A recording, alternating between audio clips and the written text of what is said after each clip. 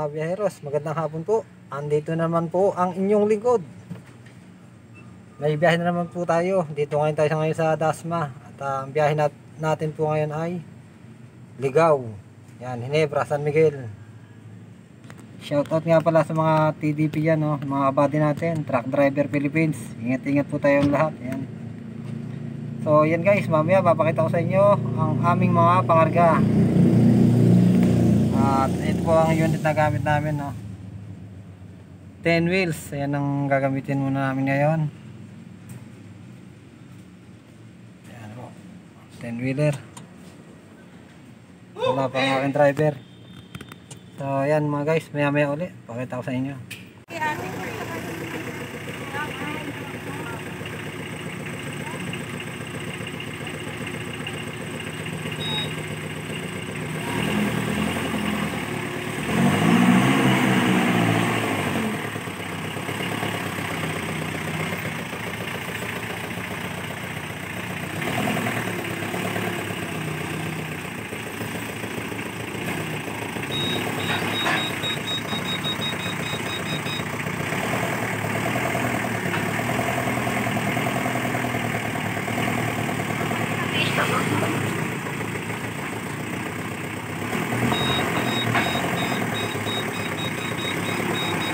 Ayan guys, napakadilim. Ayan po ang aming pangarga, mga box.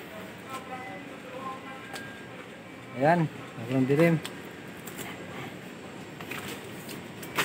Ayan po. Ito ang aming mga dokumento. Siyempre mga stretch film.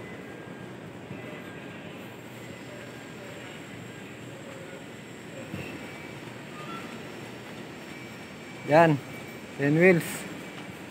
Bali dito pina clip ito. Pero pagka dating namin doon sa may ligaw, repalit yan lahat. Kasi kailangan ibalik dito lahat ng paleta.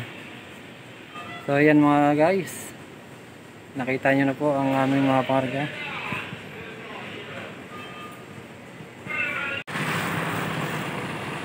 Hey guys, ang ganda ng view dito. Oh.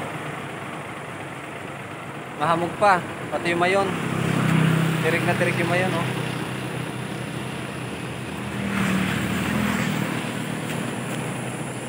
At anong hirap?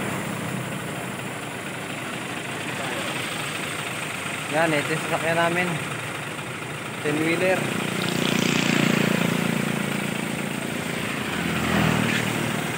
Okay.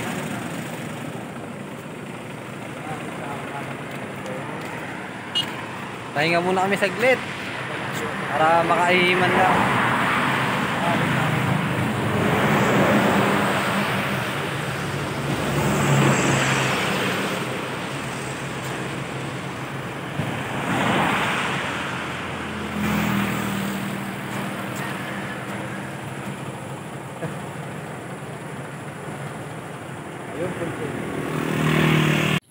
So ayan guys, andito na tayo sa Hinebra San Miguel. Yan, Ligaw plant.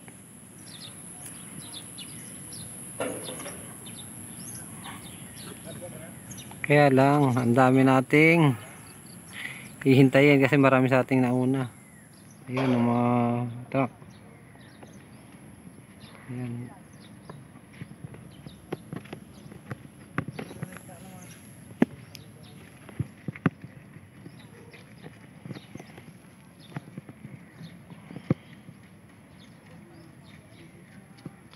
Ayan, susunod pa tayo sa mga pilang yan. Marami.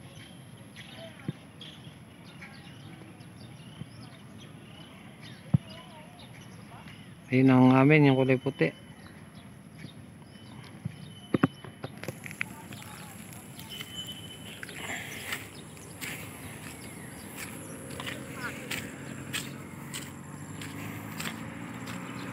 Yan guys, ang mga truck na susundan namin.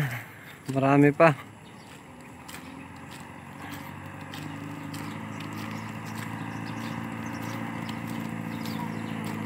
Nagigib muna ako ng tubig.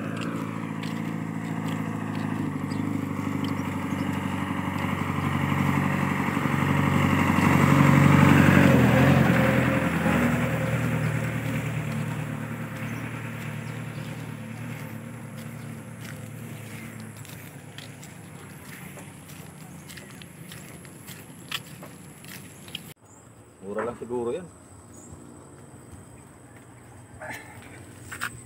Wala man papagpag dito eh.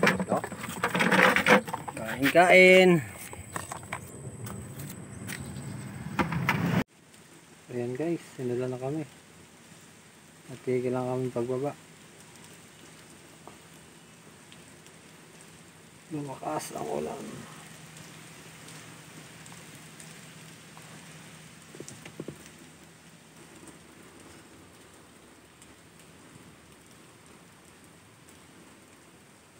Hindi makapagbaba.